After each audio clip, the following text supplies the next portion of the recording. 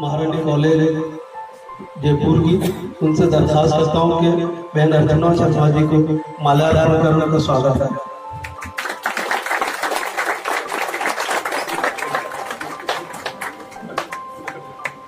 मैं आपको साहब से भी दरखास्त करता हूँ कि हमें हमारे दूसरे मेहमान आदित्य साहब को भी वे माल्यार्पण किया।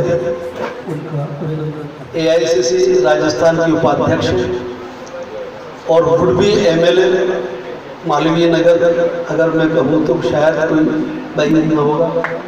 मैं आपसे दरखास्त करता हूँ कि बरए करम यहाँ दाइस पर तशरीफ़ लाकर आशीर्वाद स्वरूप हमारे बच्चों की हौसला अफजाई फरमाएँ।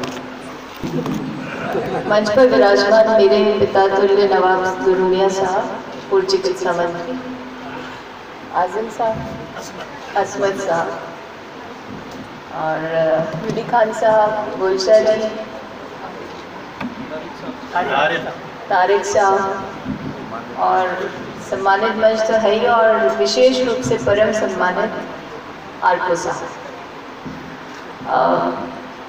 मुझे यहाँ आने पर बहुत अच्छा लगता है सर। उसका कारण है कि समाज में विशेष रूप से बच्चियों की बहबूदी उन्हें शिक्षित करने उन्हें आगे बढ़ाने के लिए जो प्रेरणा यहाँ से मिलती है। वो एक मिसाल के रूप में मैं देखती हूँ उसको। जब मंसूरी पंचायत का एक कार्यक्रम हुआ था अपने करबला में तो मैंने महसूस किया कि इस पंचायत में आर्टो साहब का विशिष्ट स्थान है।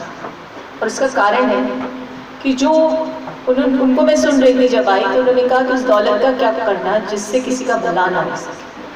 तो शायद मुझे लगता है अल्लाह ताला ने आपको इसीलिए काबिल और यूँ कह सकते हैं कि दौलतमंद बनाया है कि आप खुले हाथों से इस दौलत का इस्तेमाल बच्चों को आगे बढ़ाने के लिए करें अभी मैं नवाब साहब थोड़े दिन पहले और आई थी तो हमारे अज़ीज़ भाई, अनीस भाई अनीस भाई की इंग्लिश कॉन्वर्सेशन की किताब का लोकार्पण था।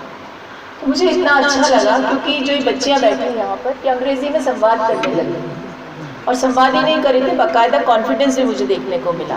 तो आप सिर्फ़ अंग्रेज़ी ही नहीं सिखा रहे स्पोकन इंग्लिश नहीं, आप उन्हें एक तरह से विश्वास भी दे रहे हैं कि आप समाज का सामना कर सकते हो, अपनी मर्यादाओं में और अपनी, कह सकते हैं, अपनी महिला होने की खूबी के साथ। और वो बच्चियाँ बिल्कुल तैयार होकर आई थी और अच्छे से उन्होंने अपने भावनाओं को व्यक्त किया।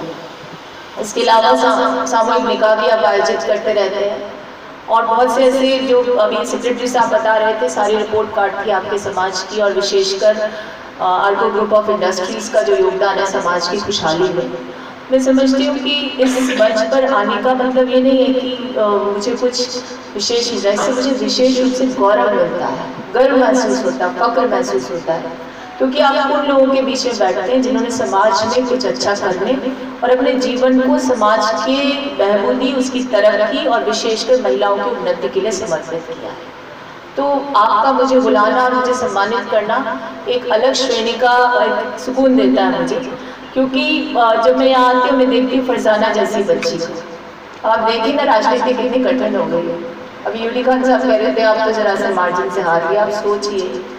एक पार्टी की प्रतिनिधि होकर मैं हार गई और इस बच्ची ने बिना किसी सिंबल के, और उस दौर में जब बहुत कुछ स्टिग्मा के साथ, समाज के साथ व्यवहार हो रहा है, अपना स्थान बनाया, मैं तुम्हें बहुत बधाई देती और सबसे बड़ी बात यह है कि बच्ची ने सबसे बड़ा क्रेडिट किसको दिया अपनी अम्मी को और अब्बू को।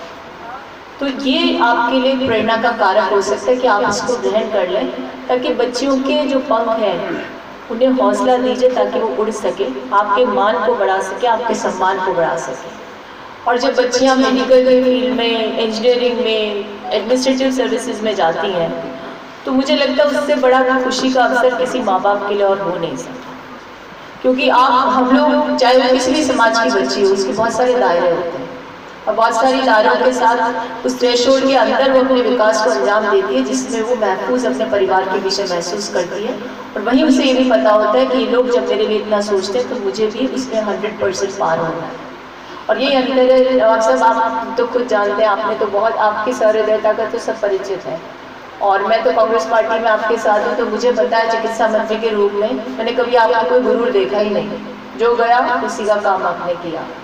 तो आप ये चीज़ मुझसे ज़्यादा और बेहतर समझते हो, क्योंकि उम्र में मुझसे बड़े भी हैं और आपने बहुत सारी दौर ज़िंदगी के देखे हैं। कि बहुत मुश्किल होता है एक बच्ची के लिए और विशेषकर अगर कोई समाज में ऐसी संकोचित सोच भी हो जो दूसरों के कारण संचालित होती हो। वहाँ पर बच्चों के लिए ऐसे प्लेटफॉर्म्स को प्रोवाइड करना। मंसूरी पंचायत का ये सबसे बड़ा योगदान है और इस योगदान के लिए मैं आपको बहुत बहुत बधाई देती हूँ। सबको बहुत मुबारकबाद। और मैं यही चाहूँगी कि आप मुझे बुलाते रहिए अपनी बहन की तरह। कोई राजनीतिक शख्सियत अभी हम इस तरह की बन नहीं पाई क्योंकि कहते हैं ना नथिंग सक्सीज लाइक सक्सेस तो अभी सक्सेस का तो हमने रास्ता देखा नहीं है। तो जिस दिन सफलता मिलेगी तब की तब सोचेंगे, लेकिन हमारी विफलता में भी आपको कोई खूबी दिख रही है। ये मेरे लिए बहुत बड़ा सम्मान है। मैं आपकी बहुत बहुत आभार धन्यवाद। कहती बहुत बहुत शुक्रिया अर्चना शर्मा जी। आप हमारा बैनर देखिए। हम तलकीन यही कह रहे हैं कि नवम सामने सर नीचे एक बार। ओके नेक्स्ट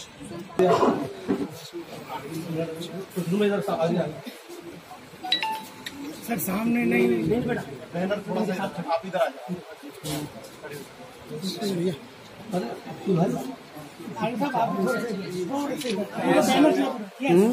जाएगा ये अपने पास।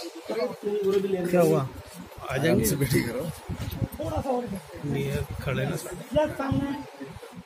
अज़ीज़ साथियों अस्सलाम वालेकुम वरहमतुल्लाहि वरकatuh मैं आपका भाई सैयद असगर अली टोंकी। आप